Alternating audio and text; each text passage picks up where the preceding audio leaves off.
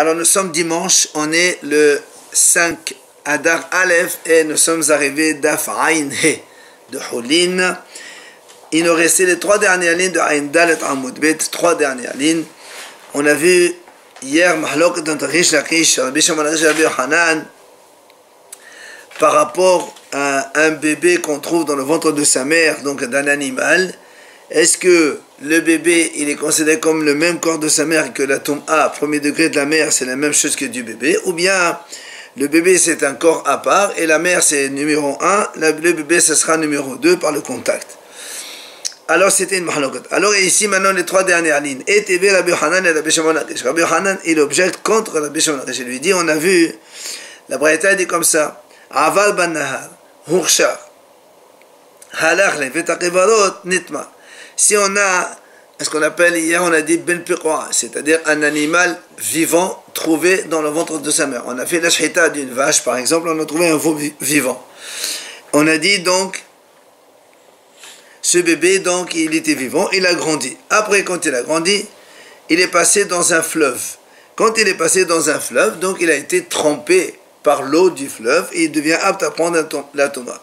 Si ensuite il part dans un cimetière, l'animal, il est impur. Alors vient de Hanan et lui dit à Richarish, Bishamal et Didi, moi qui dis que c'est ces deux corps différents, c'est pour ça que on a besoin que le bébé il devienne apte à être euh, donc impur lui aussi. Urshar et là. Donc s'il a été passé par un fleuve, donc il a été imprégné par un liquide, il devient apte à prendre l'impureté. Sinon, non. Mais elle a dit mais Rabbi Hanan a dit que le bébé et la mère c'est un seul corps. Alors il lui dit euh, ben, pardon.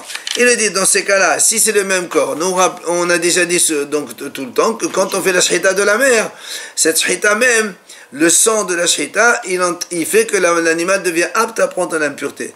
Alors donc le bébé aussi il était apte, pourquoi il a besoin de passer dans un fleuve? Alors il lui répond, il dit, on parle d'une shita yabishta. On a fait la shita, mais il n'a pas saigné. Il n'y a pas eu de sang. Et donc, quand il n'y a pas eu de sang, eh bien, le, il n'y a pas eu d'imprégnation. C'est pour ça que c'est nécessaire que le bébé passe par un fleuve et être imprégné. Ou de là hier on a vu que lui dit que même une shita sans sang, ça, ça entraîne toum. Ah, lui, il pense pas comme lui. Donc, il a besoin de passer par un fleuve pour être imprégné de liquide et ensuite être apte, à prendre l'impureté. Via a dit Mantana, Mantana, qui a enseigné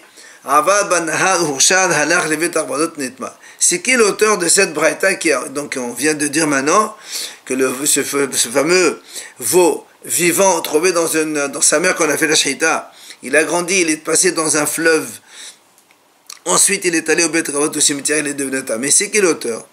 Amad Rabbi Yohanan, Rabbi Yosef à Galilée. C'est Rabbi Yosef à Galilée. Comment on a vu ça? Détana, ils amènent, il amène une braïta. Ici, dans lequel on va voir l'auteur, c'est Rabbi Yosef à Galilée. Rabbi Shimon ben Azad Omer, Meshon Rabbi Yosef à Galilée. Il vient Rabbi Shimon et dit au nom de Rabbi Yosef à Galilée, Metame Tom'at Ochalim Vesadech Hersher. Ce fameux bébé, donc, qu'on a vu, euh, qu'on a trouvé vivant dans le ventre de sa mère, il est metametom atochalim. S'il touche quelque chose d'impur, il devient impur. Et hercher. Et il a besoin d'être donc imprégné d'un liquide avant de prendre l'impureté. Ça, c'est Rabbi Yosef Galilée qui dit ça. Et non. Le haïm, le. Hachamim, ils disent non, pas du tout. Le veau étant un animal vivant, nous on a déjà vu que l'animal vivant ne prend pas l'impureté. Donc il n'y a pas d'impureté dans cet animal-là. Et donc, le, on, voit ici que l'auteur, ce qui a dit qu'il faut donc il peut prendre l'impureté, c'est Rabbi Yosef Galilée.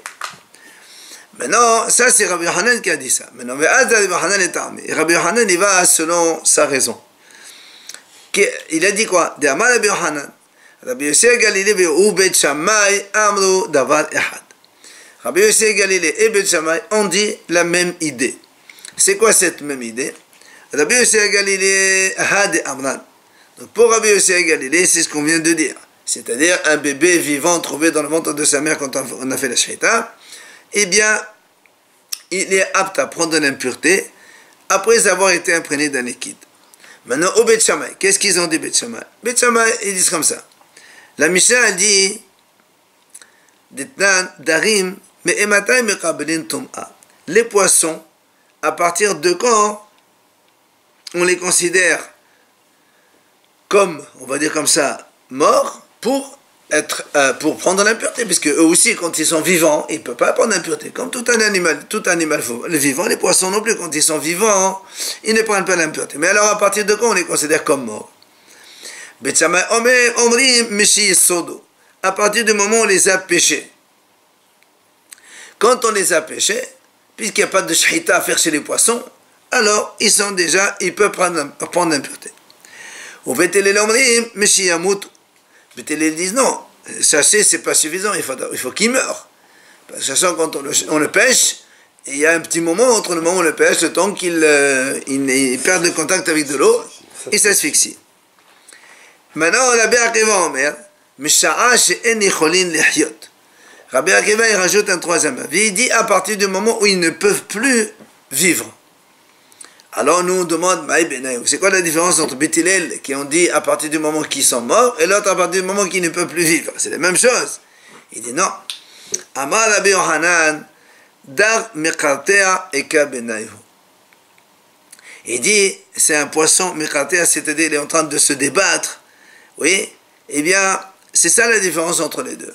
Selon Rabbi Akiva qui a dit à partir du moment où il ne peut plus survivre, effectivement, dans la mesure où il est en train de se, débattre, nous on a dit que quand il y a euh, un endroit dans le poisson qui est sec de la grosseur d'un là, c'est-à-dire cet endroit il est mort et c'est fini pour le poisson. Mais il n'est pas encore mort complètement. C'est la différence entre Bethel et Rabbi Akiva.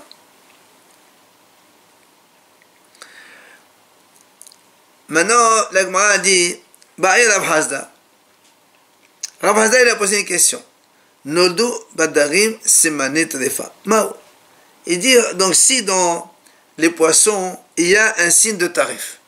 Par exemple, si on trouve les intestins, il y a un trou dans les intestins. D'accord? Euh, Quel est le dit? Est-ce que ça existe, ces poissons tarif Alors il dit, la question se pose aussi bien pour celui qui a dit, un animal tarif, ça peut vivre, et l'autre il dit non, ça ne peut pas vivre. La question se pose selon les deux. Alors il explique, c'est quoi la question? Même celui qui a dit qu'un animal tarif, il peut vivre.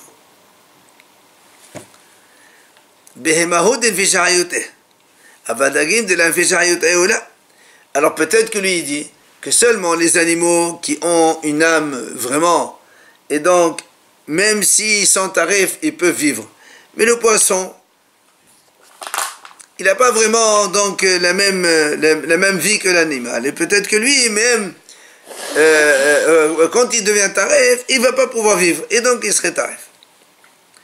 Ou bien on va dire non.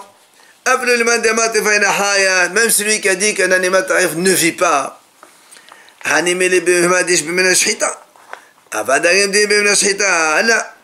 Seulement les animaux, parce qu'il faut leur faire la shita. C'est pour ça que quand il faut faire la shita, lui te dira que vu qu'il n'y a pas le, le tarif, il ne peut pas vivre.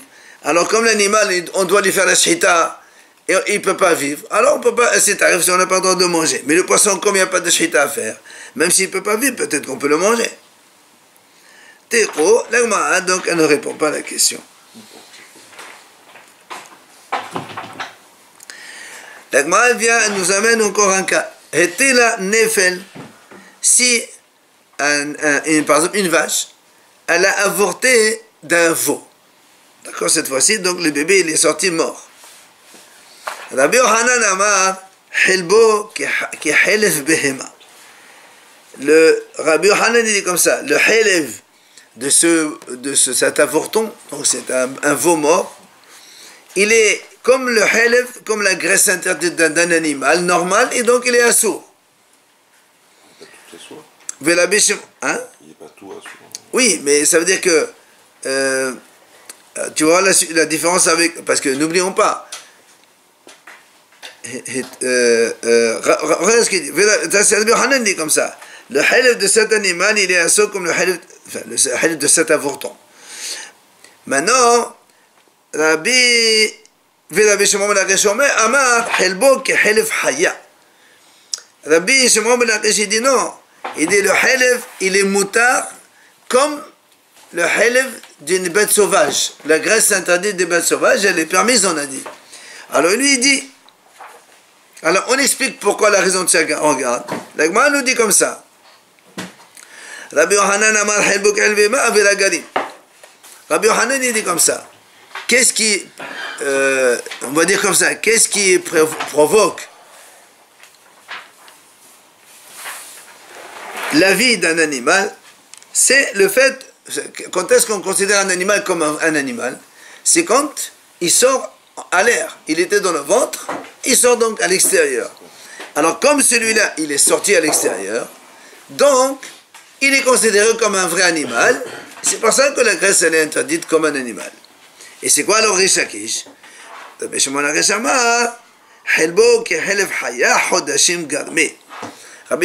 dit non. Ce qui compte, c'est pas quand l'animal sort, le bébé sort à l'air. C'est les neuf mois. Tant qu'il n'a pas fini ses neuf mois, il n'est pas considéré comme un bébé.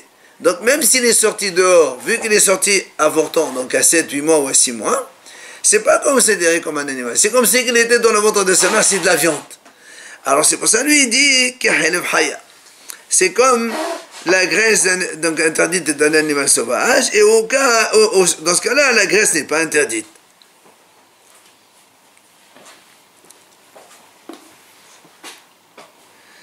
Ça, c'est donc la entre Rabbi et Lakish. Et il y a une autre version qui dit que quand il n'y a pas eu les neuf mois, donc ça, c'est rien du tout.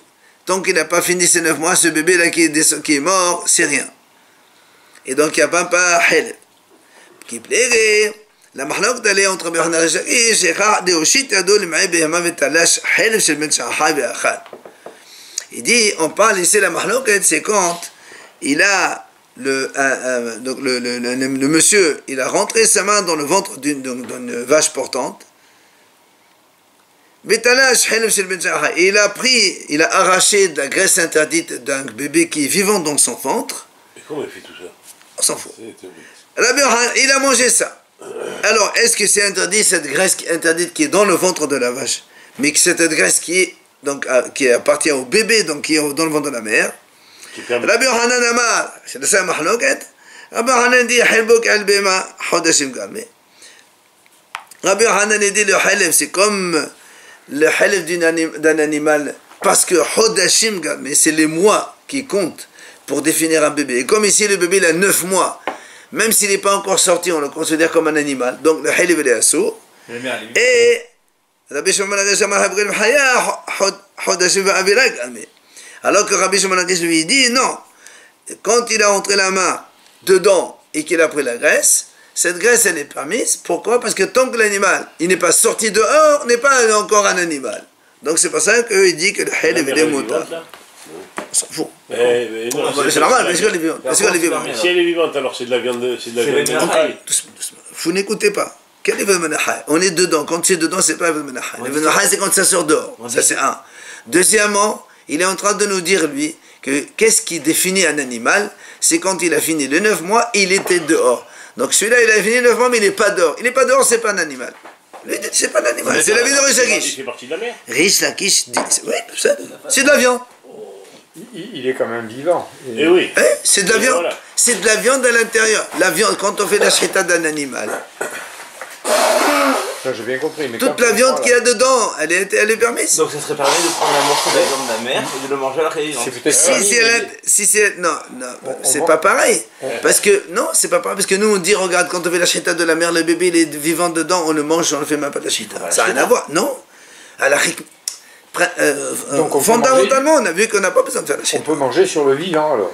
Non, justement. Le bébé est vivant. Non, n'oubliez pas ce que je viens de dire maintenant, c'est que quand on trouve un bébé vivant dans le ventre de la mère qu'on vient de faire la shita, le bébé il pas, ne nécessite pas de shita. C'est considéré comme un morceau de viande de la D'accord, mais il est quand même vivant.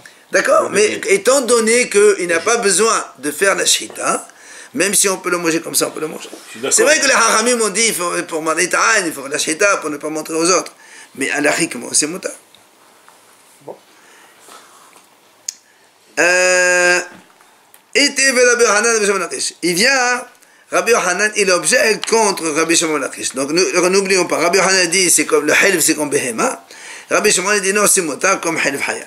Il lui dit, on a vu dans l'Agmara, c'est marqué comme ça, à propos des korbanot. Vous savez que dans le korbanot, qu'est-ce qu'on amène? On amène la graisse interdite et les clayot, les reins. Les reins de l'animal, on les met sur le misbéah.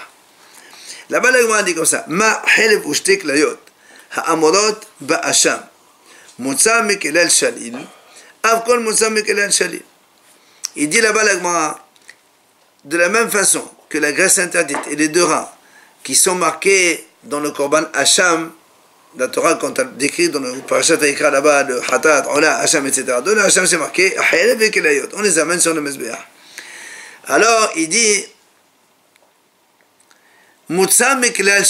C'est-à-dire, ça exclut, ça exclut la graisse et les reins d'un bébé dans le ventre de sa mère. Pourquoi? Parce que le Hachan, il est obligatoirement mâle. Donc ça n'existe pas hein, le cas de bébé dans le ventre de sa mère pour un korban Hachan, puisqu'il n'y a pas, c'est que mâle. Alors la a dit comme ça Av kol. C'est-à-dire tout ce que. Si la Torah a parlé de ça dans le Hacham, eh bien, dans, tous les cas, dans les autres korbanot aussi, même s'il y a un, bébé dans le ventre de la mère, on ne peut pas amener le Haïlev et sur le Misbéah. D'accord? Alors il vient à Rabbi Hanan et lui dit Bishamal dit Moi, selon moi, Rabbi Hanan qui a dit lui que le Haïlev c'est comme Behema.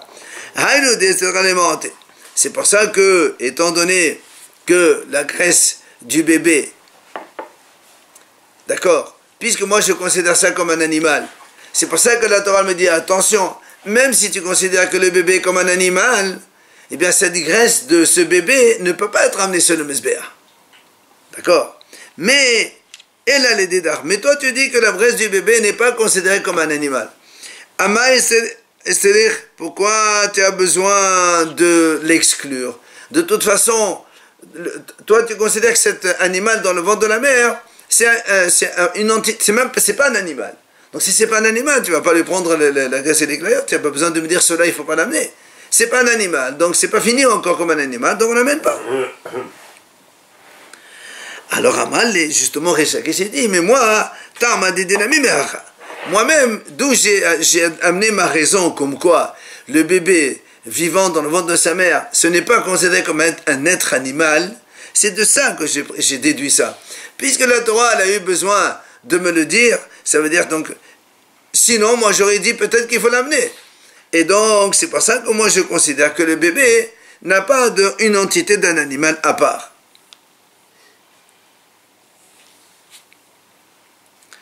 Maintenant, Amre. il y a une autre euh, euh, version qui objecte d'une autre façon. Et c'est Rabbi Shimon qui objecte contre Rabbi Yohanan. Il lui dit,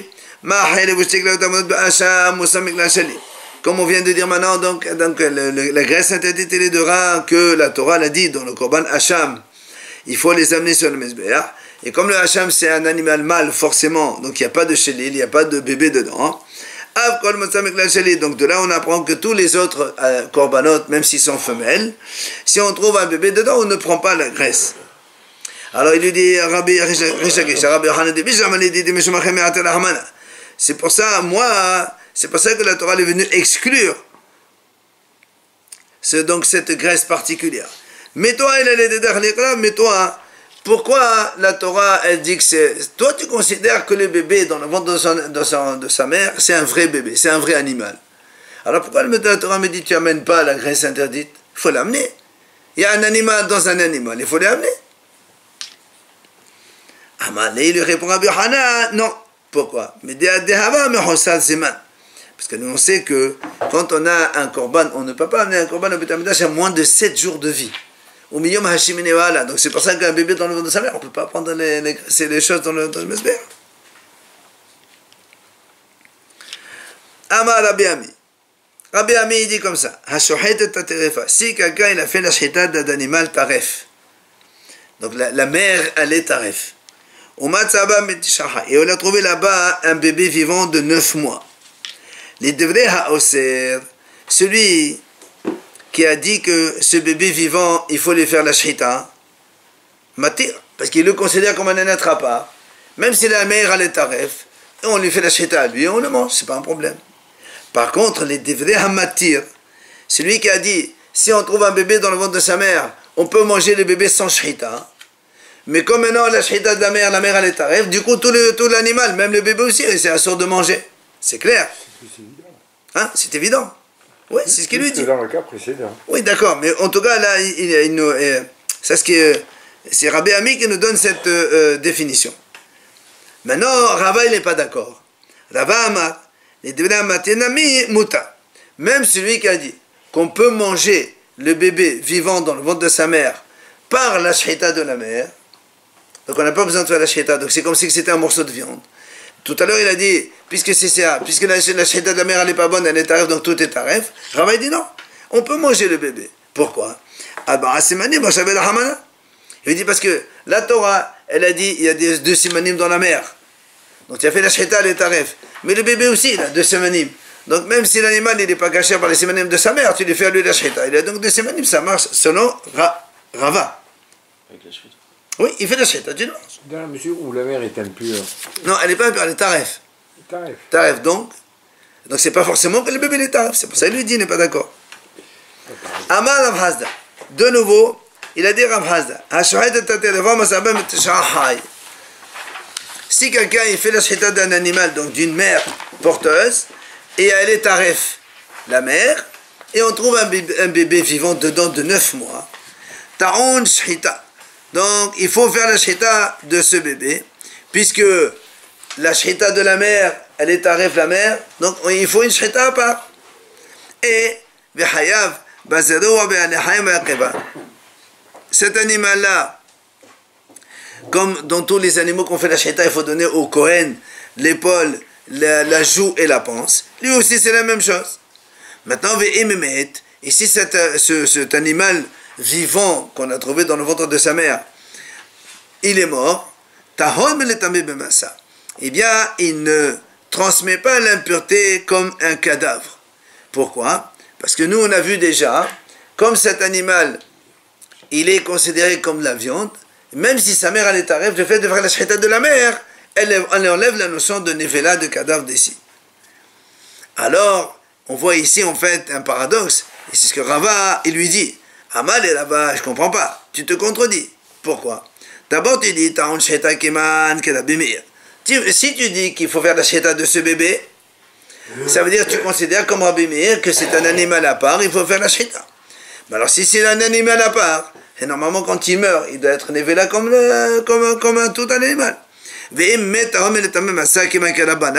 Après, tu me dis, non, s'il est mort, il est tahor. Ça veut dire que tu considères que ça fait partie de la viande de l'animal. Donc, il est tahor. C'est contradictoire. Ou tu dis que c'est moi Abimir, et donc dans ces cas-là, même s'il meurt, il est, il est tamé. Ou tu dis comme Hachamim, dans ces cas-là, il n'y a pas besoin de faire la shita, parce que Hachamim, ils disent un bébé vivant dans le ventre de sa mère, on n'a pas besoin de faire la shita. Donc c'est contradictoire. Il est vivant ou il est mort Il est vivant. Alors il lui dit, vu les tamer, Rav Hazda lui répond, il dit alors si, tu me parles comme ça, alors voilà, on a vu que Rabbi il a dit la même chose. Il a dit, quelqu'un il a fait la cheta d'un animal d'une mère tarif, donc d'un animal tarif. Il a trouvé là-bas un bébé vivant de 9 mois. Et Rabbi Haya aussi, il a dit la même chose. Il a dit, il faut faire la cheta. Il faut donner au Kohen donc l'épaule, les joues et la, la panse. Lui,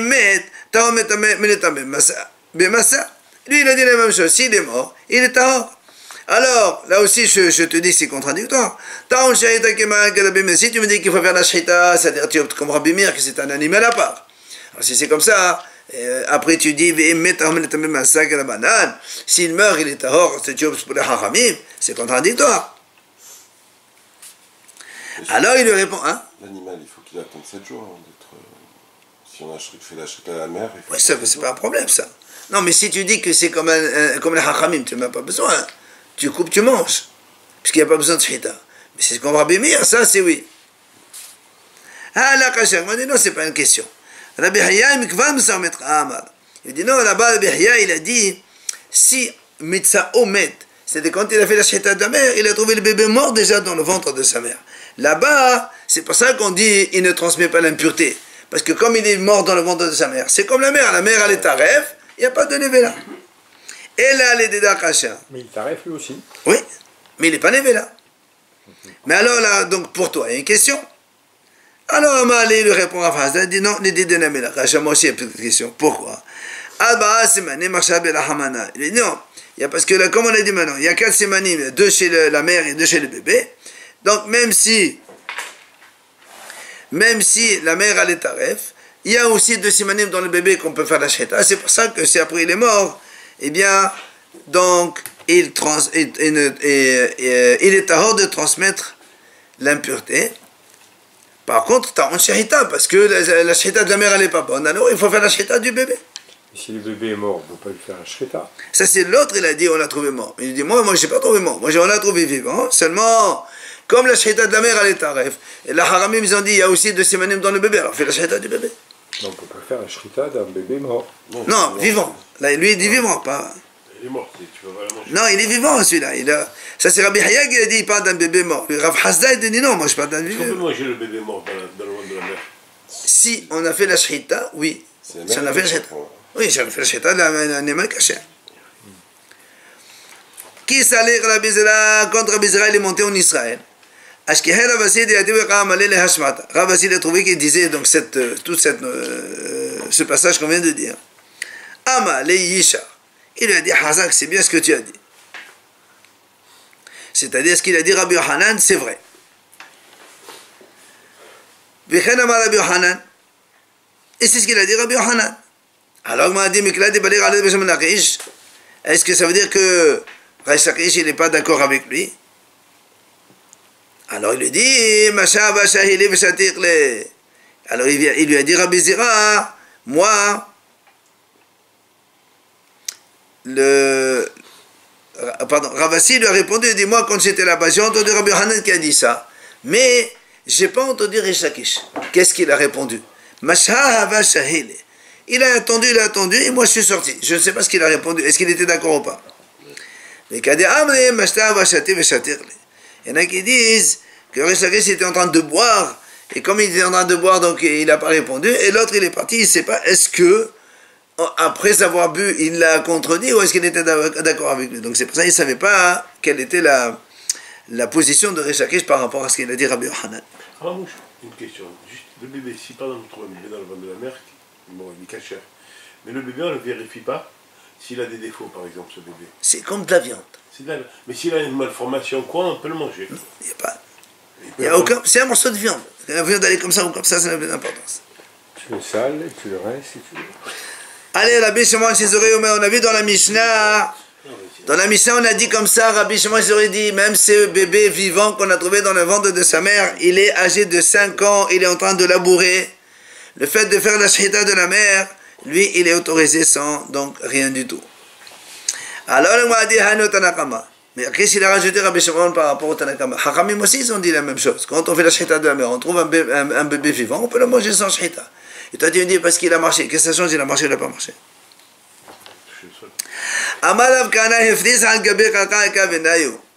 Il dit non, justement la différence c'est quoi? C'est quand il a marché sur le sol. C'est ça la différence. Selon Tanakama, lui il a dit, quand on le trouve vivant, on peut le manger sans shita. Mais s'il a marché, Hachamim dit, il faut quand même faire la shita. Alors que Rabbi Shimon dit non, même pas. Même s'il a marché, il n'y a pas besoin de shita. Amar Rav Misharashia, il a dit Misharashia. Les divrei ha'omer hosheshin ezen ha'av. Celui qui dit que même chez les animaux, on craint, on fait attention au, à la donc euh, on dit à la semence du père, parce que généralement il y a le père, la mère aussi. Celui qui dit on craint aussi ezen ha'av. Alors il dit comme ça, ça c'est on a vu ça une fois. Si on a un bébé donc qui est qu'on a trouvé vivant dans le ventre de sa mère, le bébé c'est un mâle, il a grandi, grandi, il est parti s'accoupler avec une femelle normale. Donc, comme le bébé, lui, n'a pas besoin de faire la shita, parce qu'on peut le manger sans la shita, sans l'égorger. Et donc le, bébé qui s'est accouplé, et donc tous les deux, l'union elle a donné naissance à un bébé, ce bébé-là, on ne peut pas le manger, il n'a pas de takana. Pourquoi? Parce que comme il a deux simanim, et que forcément une partie du père, une partie de la mère. Or, comme le, le père n'est pas shritable, entre parenthèses, on ne peut pas lui faire la shrita. Alors le bébé, au fait, au fait, il n'a qu'un seul siman. Et donc on ne peut pas faire un, un shrita d'un animal avec un seul siman. Il n'y a aucune solution pour ce bébé. On On peut pas le- de bébé, on va s'accoupler. Non, il a grandi le bébé.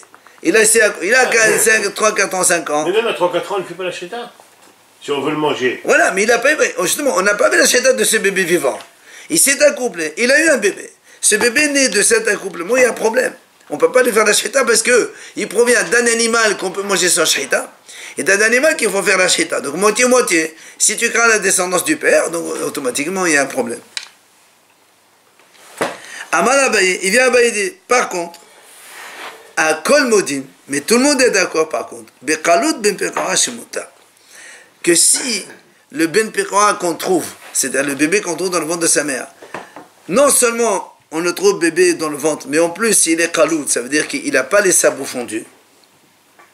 D'accord? C'est un animal sans les sabots fondus. Tout le monde est d'accord. Euh, où c'est que c'est? Bekalut Shemuta, qu'on peut le manger sans shrita. Pourquoi? Hein? Ah putain. Il n'y a pas Et alors, morceau de il est morceau de un viande dans le ventre de la mer. מה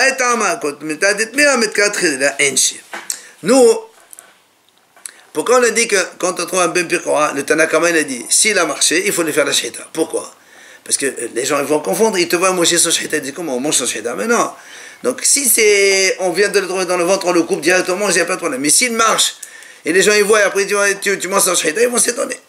Mais là il dit, étant donné qu'en plus il a ce problème de sabot non fondu, les gens disent comment On mange ta rêve, nous? Non, ça c'est un peu quoi Ah, donc euh, on peut le manger sans shahida, c'est pas un problème. Donc euh, ça va pas prêter à confusion par rapport. Et qu'il y a des Amri, maintenant il y a une autre version qui dit qu'Abaye, il a dit Amal Abaye, Hakol Modim Bekalut Kluta Pekoa Shmuta. Il faut qu'il mette à matrit, mais il faut qu'il ait deux choses étonnantes. C'est-à-dire, Kalut ben Kluta. C'est-à-dire, on a trouvé un bébé femelle dans le ventre de sa mère qui avait les cerveaux non fondus. Et donc il est cachère. Il s'est accouplé, il a eu un autre bébé, que lui aussi il est savon non fondu. Celui-là, il faut qu'il ait deux choses étonnantes, puisqu'il est pekra, il est khalot deux fois. Donc c'est pour ça qu'il a dit, ah ben, on peut le manger, sans shahida.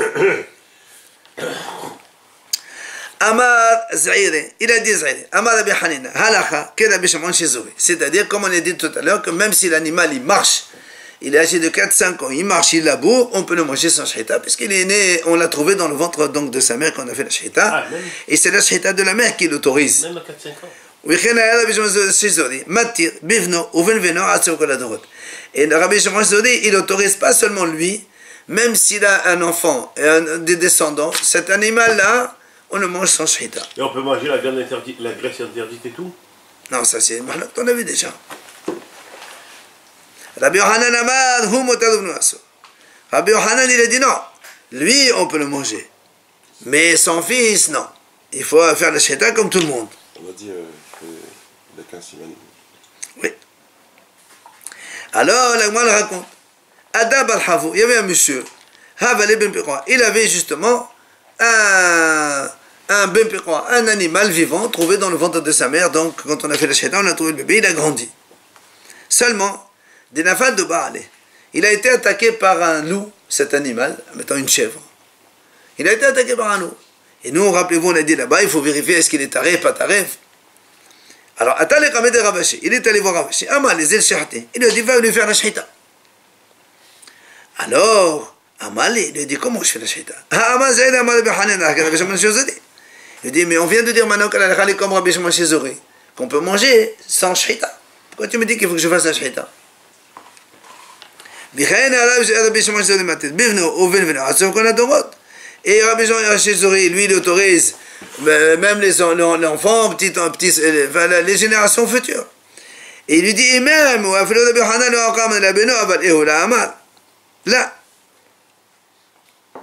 Rabbi Hanan, lui, il a dit, même Rabbi Hanan, il est d'accord sur le bébé lui-même qu'on peut manger la Que les, enfants, il a dit non. Donc tu vois bien que selon tout le monde, on peut manger la shita. Pourquoi tu me dis que je fais la shita alors? Amalé, il lui a répondu. Rabbi Rabbi Shimon Shizori. Il dit non, Rabbi Yohanan, il n'a pas de parler de son propre avis. Il a parlé selon Rabbi Shimon Shizori, que Rabbi Shimon Shizori, il a autorisé donc de manger ce bébé sans shita. Eh bien, que seulement le fils et pas la, la descendance future. Alors il lui dit, Hanina amar Ola amar Rabbi Hanina la Rabbi Shimon Shizori. Voilà pourtant tous les haramim nous ont dit la halakha est comme Rabbi Shimon Shizori. Et en plus, Velod, il a comme comme Shoshana Rabbi Shimon Shizori b'Mishnat. Et nous, halakha moto. Il y a une- un principe, il dit que tout endroit où Rabbi Shimon Shizori dit une halakha dans, dans la Mishnah, la halakha est comme lui. Alors pourquoi tu m'obliges à faire la shita de cet animal? Amalé, il lui répond Ravashi, Ana kihas virale. Moi, je ne pense pas comme cet avis-là, je pense comme l'avis qu'il vient de, il va aller donc nous le dire maintenant. C'est quoi l'avis donc que Ravashi il, il, il- il pense comme lui? Voilà ce qu'il a dit Rabbi demai. La seulement dans deux cas. Dans le mesoukan, on va expliquer ce que c'est, donc celui qui est en danger, et dans Tomat Maaser de Dmaï. Là aussi, on va expliquer de suite. Donc, Ravashi lui a dit, c'est à que dans ces deux cas, la halakha comme Rabbi Shizodi. C'est pour ça, toi, tu dois faire la shita de ton animal.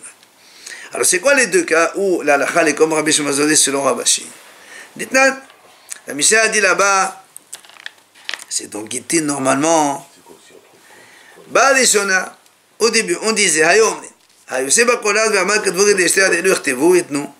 Hazon, Omar, la femme Omer, la. Rappelez-vous, on a dit que quand un homme il veut donner un guet à sa femme, si par exemple il peut dire à deux monsieur ou deux témoins, écrivez un guet à ma femme, et s'il dit, il leur dit seulement écrivez, ils, ils peuvent écrire mais ils ne peuvent pas donner. Il faut qu'ils leur disent écrivez et donnez. D'accord? Alors au début on disait comme ça. Si on amène un condamné à mort à la pendaison, on va le, le tuer. Et euh, avant d'être tué, il dit à deux témoins écrivez un guet à sa femme. Même s'il n'a pas des données, vu qu'il a la tête pas sur lui, on donne quand même. Au début on donnait comme ça.